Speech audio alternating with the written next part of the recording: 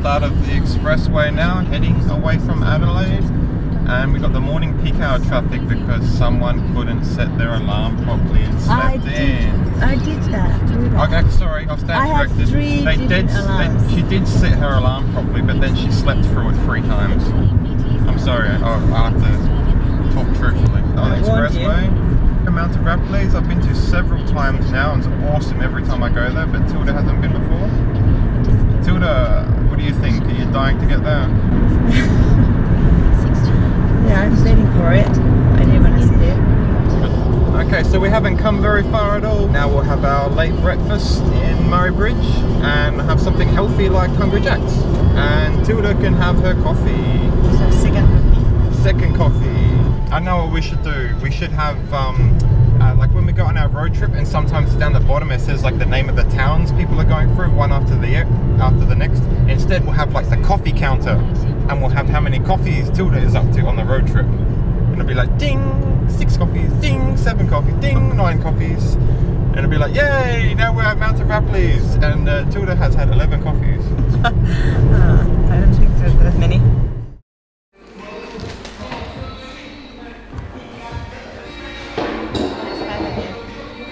I now pronounce you Sir Fartalot. Oh, thanks. You may now stand. Are we changing driver as well, or Uh, yeah, my back's a little bit sore. We'll have a driver swap. seats are similar? Yeah, but I don't feel back pain when I'm moving around in the seat. I don't know why. Okay. He's like wink, wink, nudge, nudge. That's convenient, Danny. It looks cool, doesn't it? Yeah. Do you reckon it's a painting or do you reckon they laminated it? I have no idea. I think they painted it.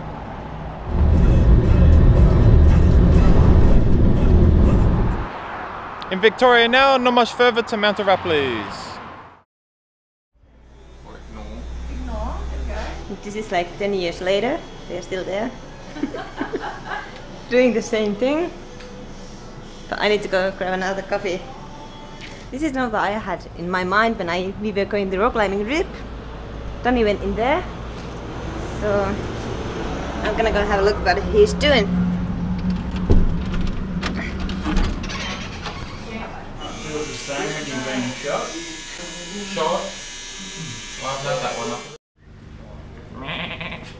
It's a cow, or pig, or sheep.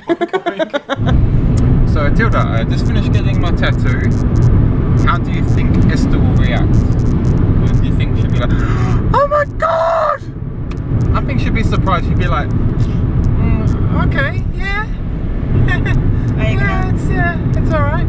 Are you gonna tell her before you go back or I don't know. I'm still thinking happy. about it. I'm still thinking. I don't know if I sh- take a photograph and send uh, everybody the picture now to show I got the tattoo straight away, or just not tell her at all. And then next time where, you know, Yeah. she find it by herself and go, oh, what the hell's that? And I'll say, oh, it's always there. You didn't see it. you didn't see that last time. It was it was been there for ages. And I'll show you guys the video highlights of how the landscape keeps on changing. Little Desert National Park. Looks pretty cool, doesn't it? You're so close. Yep.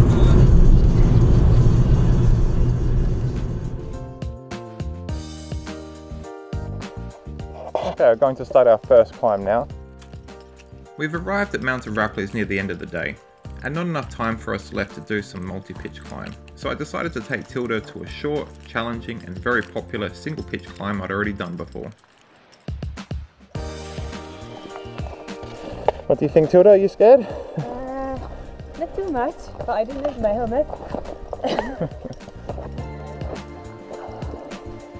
So yeah, this one's definitely the right one.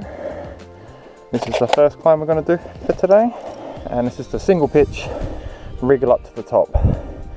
Come up there, go across halfway, with a awkward part where you're kind of doing the splits, and then from that little bush there, you're kind of going up dead straight 12 o'clock, and then you can abseil back down. I just hope that I don't slip and find out how Tilda holds my weight because I weigh nearly twice as much as her. So if I slip, I'm going to fall a bit and lift her up off the ground most likely. Alright, it's going to be recording. So, There was the just before the hardest part was this climb. I fell off twice. And she managed to do it the third time. I was very, I didn't think she could do it, but she tried very hard and she managed to pull it off. Bit blood on my hand. so yeah, it's safe. So Tilda has finished her first climb. Yeah, I think this one is a 16. That's quite difficult for your first climb. And you can see it's starting to get dark. We're seeing people walking back to the campsite. blood anymore. You can't see the blood anymore. It's under the white thing. so now we're going to pack up quickly before it gets freezing and we're going to abseil. So end of day one and that is fucking fun. Part of the climb she did backwards. yeah, but then I guess So I, I, I just stand on my toes because she pointed the camera in the air. Because I'm so heavy, we will always have something like that. I will do that so you can't get lifted off the ground by me Okay, if I fall. But of course, when you leave, you have to take everything. sure. So let go, and I'm going to pull and collect it. Yep.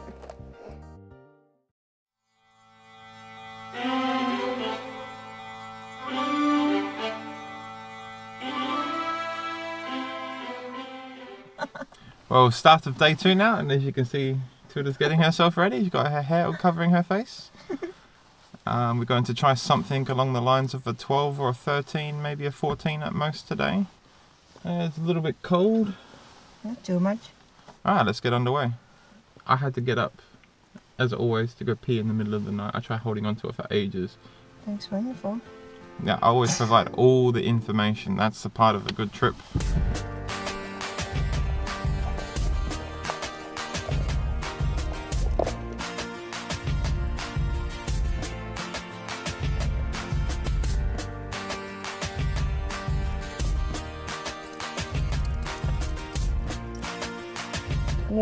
Nearly end the the rope. Safe.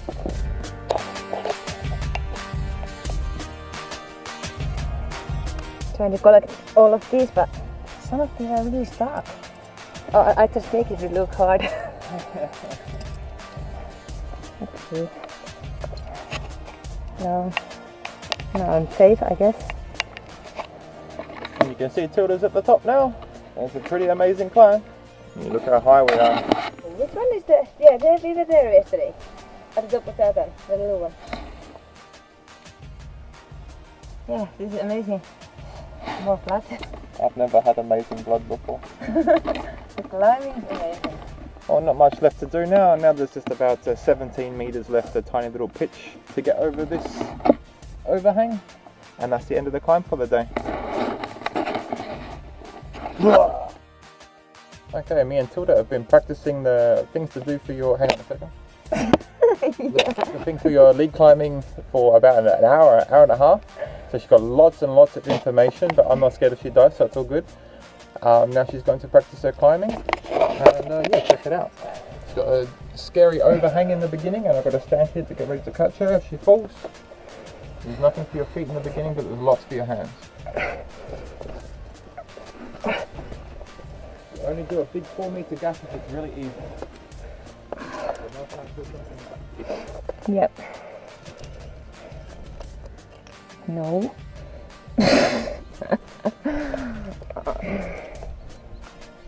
I'm just testing this, all of this. Just making sure that we're not broken before she does the climb. I hope it's alright.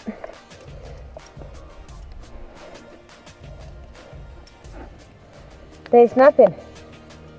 Now I'm a bit scared. Looks like there's nothing to hold on to. Let's try to get something in there. I don't think it won't come out.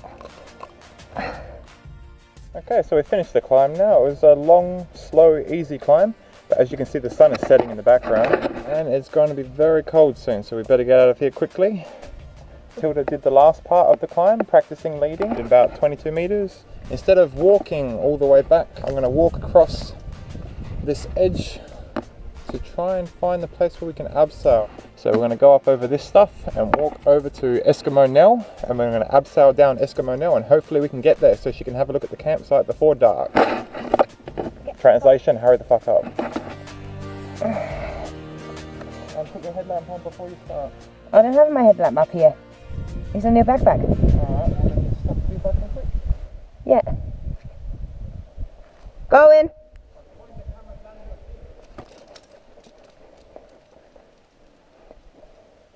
They need to just drop.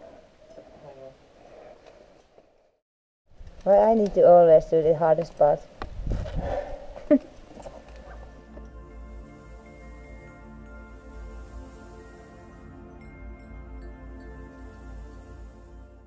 Oh, start of our third day now. It's Mount Arapiles rock climbing.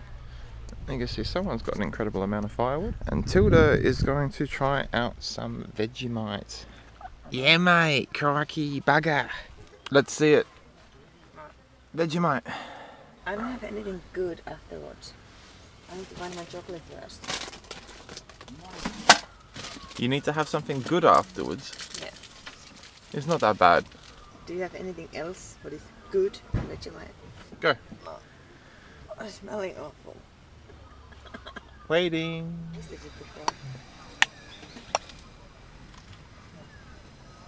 This is good one. Oh, not good. Yeah, baby. Yeah, I am. I don't. I don't understand how you can like this. Everyone gets used to it. It's like vinegar. No one likes vinegar, but they love vinegar on their chips. She's had like three bars of chocolate since we've been here. I don't know how the hell you're not overweight. Okay, Tilda, for $2,000 on sale of the century, what is Tilda's most common word of expression during a rock climbing trip? I don't know. Quick, your time's running out. Whoops! well, I've had my morning shower and I'm bright awake now. There's no better feeling than waking yourself up thoroughly with a nice shower just using the bucket. I'll just help Tilda boil her water and show her how to have a warm camping shower. And once she's had a shower, we get underway. So now we're just going to go retrieve our shoes left behind, lost from yesterday. It was funny last night. So when you look, Tilda was looking for the shoes. I said like, go this way, go that way, and I said, don't worry about it. It's, you know, too long. We'll go back to the camp. Like, no, I want my shoes. Wanted them. You're not going to find them. I know. It looks like different place last night. It was like it wasn't the same place. we now say goodbye Yeah. and wish goodbye. Tilda good luck on finding the shoes. I hope she returns with my shoes at least. Good luck.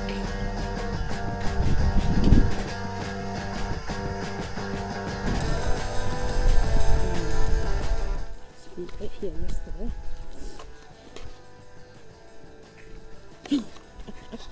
yesterday. Next to this last night. I finally found them. That was quick. was it hard to find the shoes? No, it was easier than yesterday. I am pretty sure I was next to them. when I think you were probably right next to the running shoes last night and you didn't see them. Yeah, but they were kind of hiding behind the rock.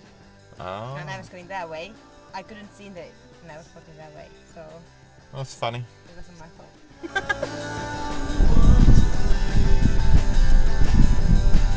Yeah, there's no such thing as a time you can come here to Mount Arapiles and not see kangaroos all the time everywhere. There's a lot of people here these days, but it hasn't been spoilt just yet. There's still piles of natural wildlife. Okay, so we're here now. This is our lizard procrastination following that crack. So it looks very easy. We'll go up the crack at dead centre and we'll try that one that's 11. And then once we've done that, it'll probably be quite easy and will be confident. And then I'll ask her if she wants to do it again, doing the variant backwards S that's a 7.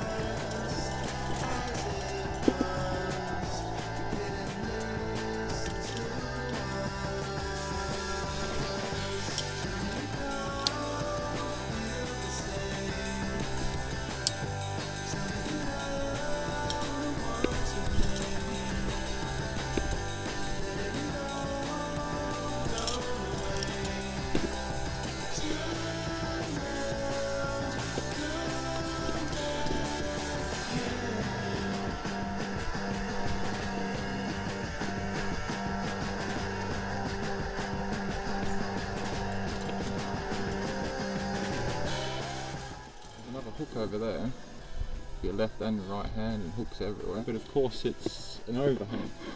All these jagged rocks below. So if your arms give way, it's gonna hurt, that's for sure. But it looks fun. This looks like the detour going up the 7. So I'm gonna try this very intimidating 11. It looks like the hardest 11 I've ever seen. It looks fun though. Just, uh, yeah, don't want to land on this. I think Tilda might not like that too much. I've done the overhang. It wasn't all that hard, but I didn't get to do it the way I wanted to. Right, I'll keep moving.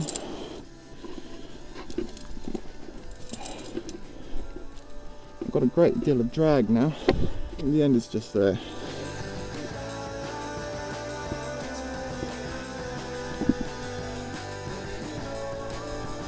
Hey. I've heard you swearing a little bit.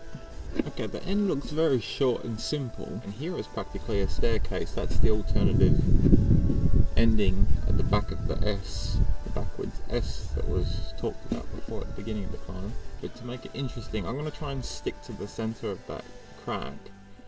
It'll look interesting.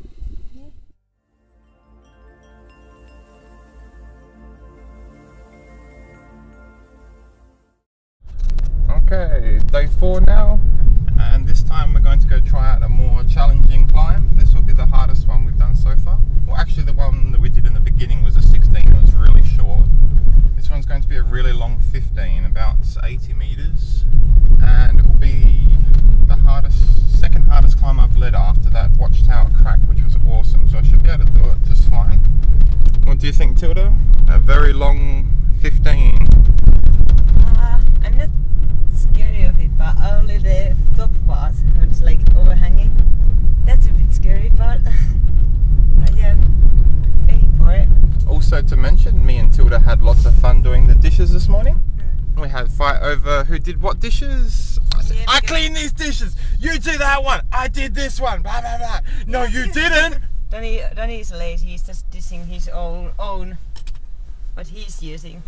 He doesn't wanna do any. I am very lazy. I am very lazy. But I don't mm. lie. I did the fucking dishes. I only left a No, little you bit for you, didn't. like 30% of the dishes. No, you didn't. See what I mean? We get along beautifully. Mm. See, Esther, it would have been so much better if you come along. Then you could be like the mum and you say, Kids, stop fighting! Sit in the car, shut up! We need a mum. Yeah, definitely. So just going to what's probably the entire world's most uh, useful rock climbing website, thecrag.com. So the one we wanted to do was called the Pharos Back Wall. this looks cool. I think we're going to start there and just follow what they're doing at the moment. Working our way up to the guy belaying.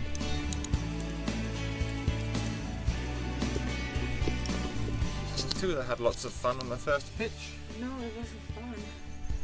Do you want to explain to everyone your fun? It was fun, but not to take, try to take them out. Those, whatever they are called. Nuts. They were stuck. when uh, Tilda was climbing, uh, about two or three of the nuts were incredibly difficult to remove. And you can see that in her hands. Now, there's not in the black and white picture we have, but you can see there's an abseiling point there, and I think that's been put in for people in our situation that have decided the climb is too much for them and they've just cancelled and wanted to leave. But we're not doing that, we're going to continue. And it looks intimidating with nothing really for your feet in the beginning, a bit slippery but it looks like it becomes easy only after the first three meters. I'll see you at the next pit stop. That is fucking scary. As the guidebook says, out.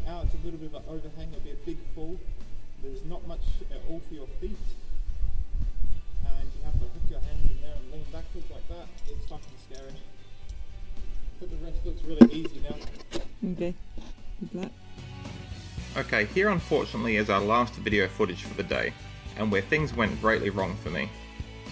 Seeing a super easy staircase appear on my left and something that looked like a level 15 route on my right, I made the big mistake of going the wrong way. Here I had my biggest fall I've ever had. It was so scary I can barely even remember the fall. But luckily this big three story fall was in a slight overhang you can see, so I didn't crash into the rock face. Just a giant wedgie with the rope hooked under one of my legs in the fall, and thankfully the only damage was my ego and a bruise line underneath my leg.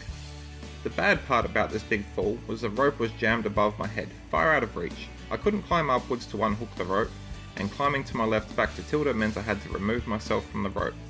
Climbing dangerously with nothing but slings and cams, I eventually found my way back to Tilda. Unfortunately, I was feeling too shaken to continue with the climb, and the sun was setting behind us at the same time in the background. Luckily, however, there was a husband and wife couple we'd noticed climbing near us in the background, and they were easy to yell out to. Even more luckily for us, they told us they were voluntary members of an emergency services group and helped us to unhook our rope and finish the climb. We thanked them as we walked back to the campsite in the dark. Okay, time to pack up and start heading home now. Was this like our fifth day or something like that? We'll go see how much energy Tilda's got inside her, if she's got a big smile on her face yet, or if she's still pissed off at me because I stole the last of her chocolate bar. So what do you want to do on the last day, Tilda?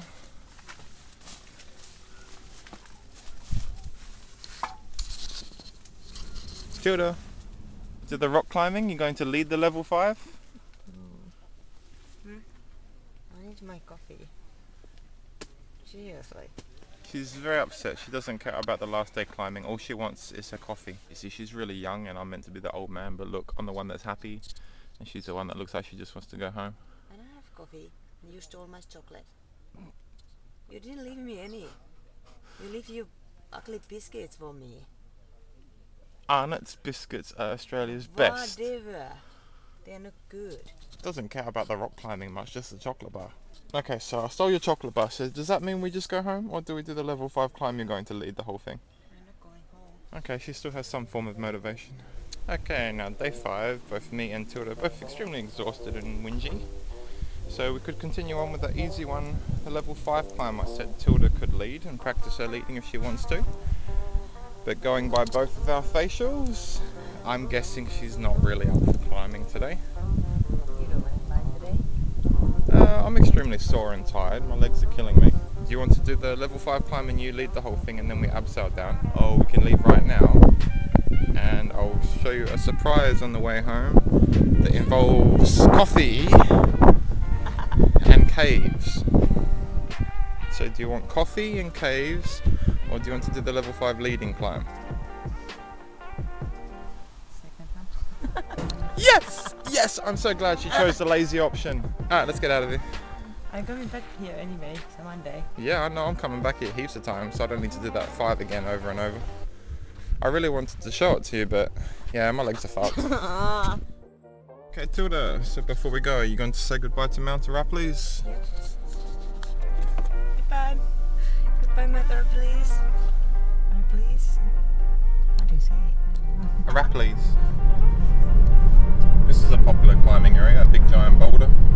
Oh, See you next time. I've been here lots of times with different people now. An amazing view, the top of Mount Arapiles. We're heading off somewhere roughly in that direction to Naracoorte. Blanchetown is just over there. And if you look really, really carefully, you can see these mountains. Just from there to there. That's the Grampians, so I have to try out rock climbing sometime in the near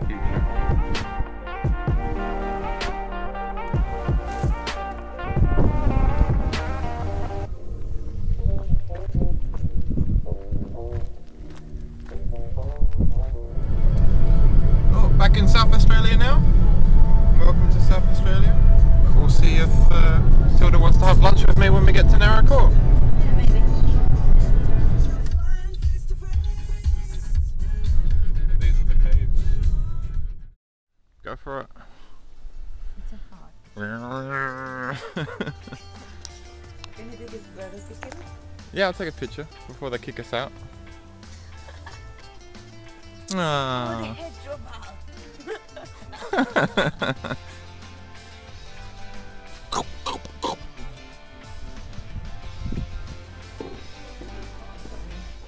You really have this kind of animal here. yeah.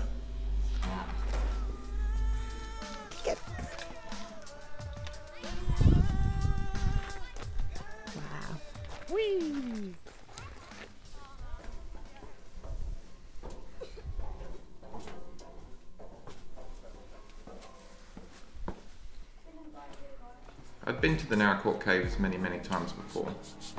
This time it was more fun just watching Tilda seeing it for the first time, wondering if they have anything like this in her country.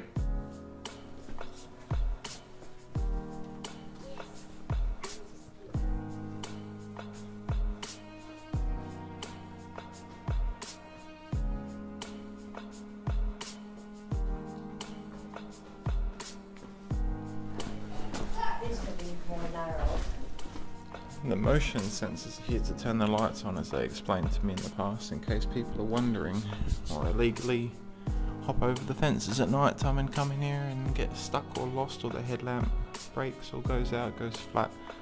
They deliberately make all the lights in here automated with motion sensors so that if anyone is in the caves for any reason they can see where they're going. You see we've got a still bar here. This is one of the places you can head off on on a guided tour. I haven't been to a cave like this before. I've been here four or five times.